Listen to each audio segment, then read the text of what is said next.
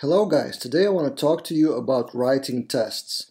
And this is inspired by a friend of mine, Nuno Maduro, who posted a Twitter poll just yesterday with 1,100 votes, which is pretty significant statistically. And the topic was why people don't write tests. And 50% don't have time for that. And people like Nuno who are proponent of writing tests and then write tests themselves and then they release tools for that. Nuno recently released Pest PHP, which is pretty awesome tool for testing. Those people don't understand the other people who don't write tests and why do they not do that. So in this video, I want to explain to those two different groups of people because I'm kind of in between. I do write tests sometimes in my team, but not always and lack of time is number one reason. So I want to explain for those people who don't write tests why it is useful and why you should at least try. And for those people who are writing tests religiously, I want to explain the side of why people don't write tests often. And first, let's quickly talk about lack of knowledge, which is also a significant group of people. So 37% don't know how to write tests or how to write them efficiently.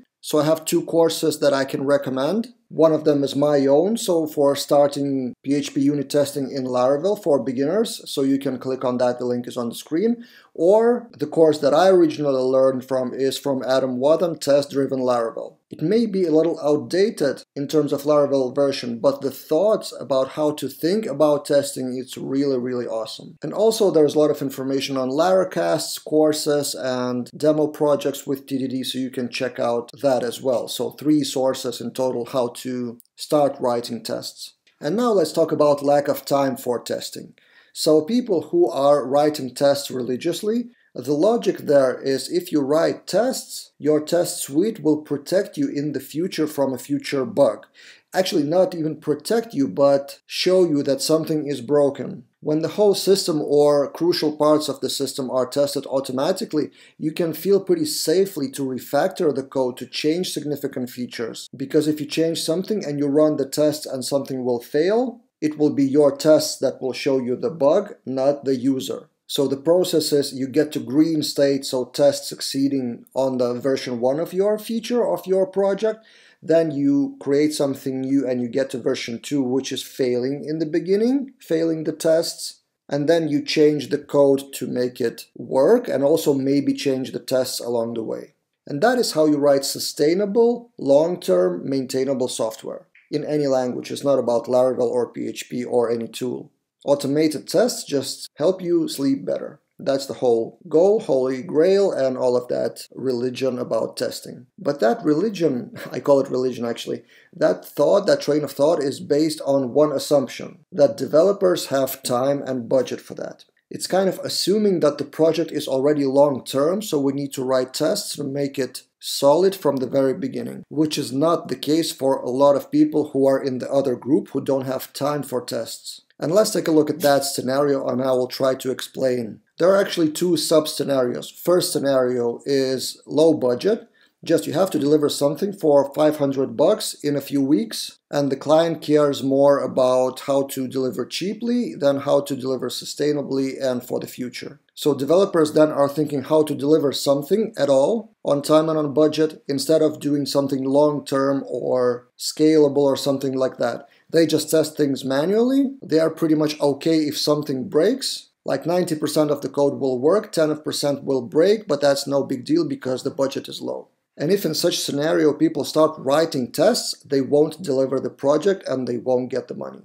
And the client will be unhappy. And it doesn't matter if you convince them that you are creating solid ground for the future. There's no future now. So that is the first sub-story, low budget. And then second sub-story is lack of clarity on the future. So it's pretty typical, especially in these days of agile and MVP and speed to market, first version of software is usually for the testing of the market. The software itself is not stable. Client needs to launch something to test the market if something will get traction, if their clients or customers or visitors get interested at all in the project. And usually again it's a small budget. It may be a bit bigger like thousand or a couple thousand dollars, but the goal is not to deliver sustainable software. The goal is to test something quickly. Deliver MVP version 1, whatever you call it, alpha maybe, and test with the first group first marketing campaign, first launch on some product hunt or hacker news or whatever. And the goal is to see if that project will fly at all. Will it launch? Will it be successful? And if it is successful, then the client is happy to invest more money in the software quality or they raise some funding, some external money.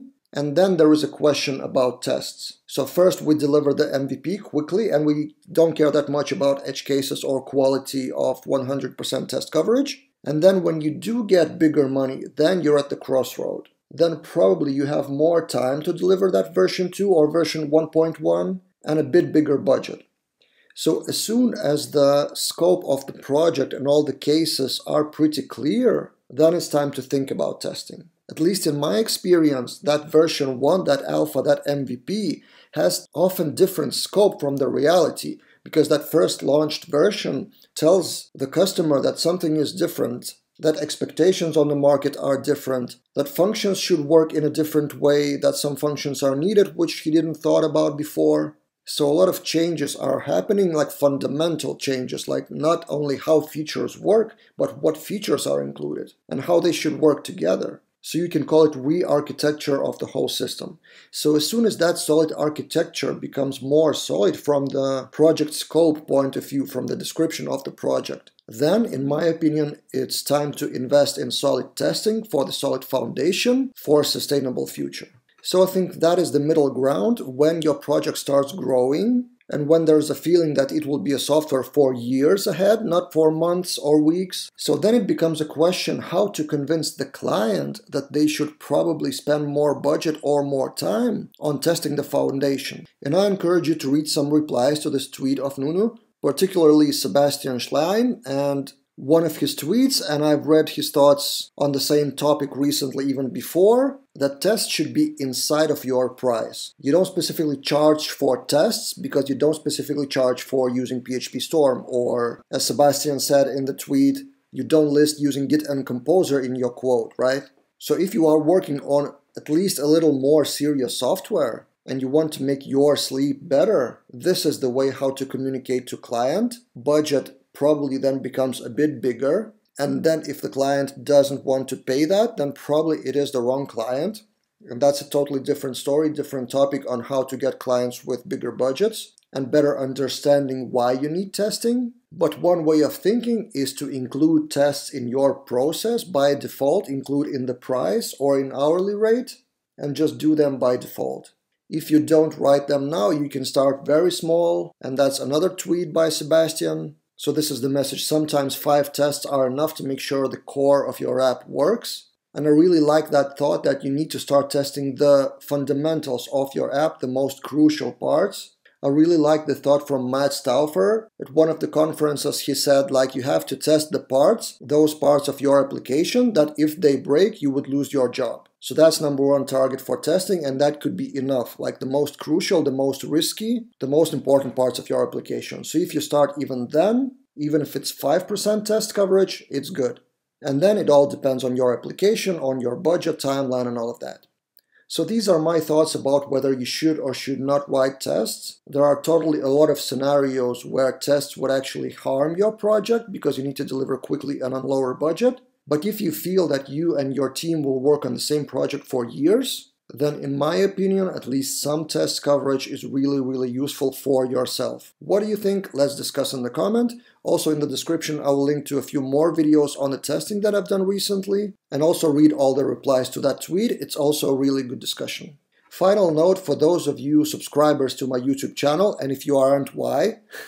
So for those of you who saw my video yesterday about my new upcoming course about Laravel APIs, I asked you what you want to know and shoot in the comment any questions. And I'm overwhelmed about the amount of questions, suggestions, what to include in that course. Huge amount of comments, and thanks for that. But I realized one thing. I wanted to shoot a course about Laravel API specifically, but majority of the questions and suggestions are about how to consume the API, how to mix it all together in Vue.js or whatever front end, how to use sessions, tokens, and all of that.